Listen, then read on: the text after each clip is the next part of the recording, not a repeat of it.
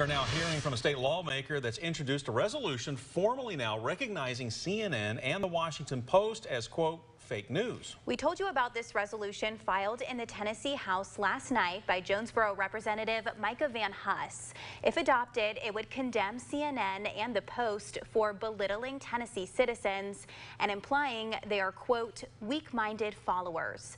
Van Huss telling us today he felt the need to fight back. Over 60% of Tennessean voters voted for Donald Trump. CNN and the Washington Post denigrated him for it.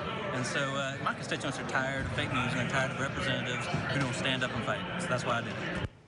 Speaker of the House Cameron Sexton has told us this resolution, like all legislative resolutions, will go through the normal committee process.